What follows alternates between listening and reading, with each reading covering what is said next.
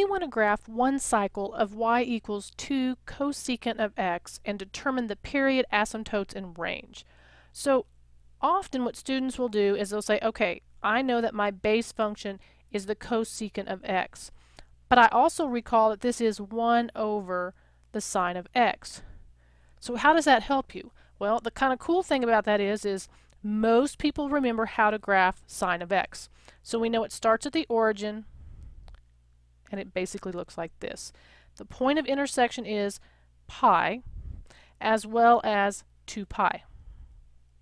So how does that help me? Well, I know if it's a cosecant, those values now are going to be where my vertical asymptotes are.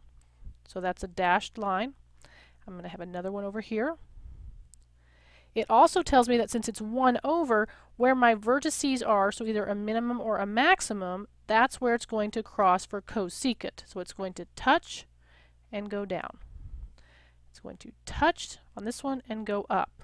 So that's what y equals cosecant of x looks like. So how does that help me? Well, it's pretty easy because remember it's 1 here, and where it intersects down here is minus 1, but now it says that the amplitude is 2, so where's it actually going to have to cross? It's going to have to cross at 2.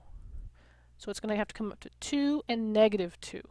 So if I were to redraw it, and I don't know, I'm going to try to redraw it on this one just so you can see all of them together, it's going to come up here, and then down here the vertices at negative 2, and it comes down. So how is that helpful? Well, We've done the graph. That's exactly what it says. We need to graph one cycle of y equals 2 cosecant of x.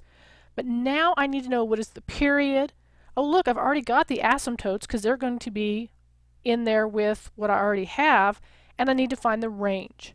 So let's look at it in standard form. So that's going to be y equals a cosecant bracket b times x minus c plus D. So I need to put what they originally gave me into the formula that I just wrote down. So how am I going to do that?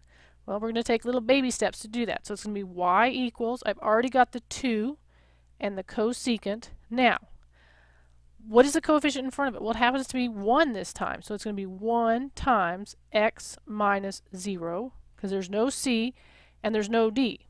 So now it looks just exactly like what I see up there. So that tells me that the amplitude is 2, which we've already used. It tells me that B is 1, so the period is 2 pi. Then C is 0, so we don't care about it. And D is also 0, so it has done nothing for us. What about those asymptotes? Well, we already know what they are, but we need to make sure that we include the formula that we've learned for them.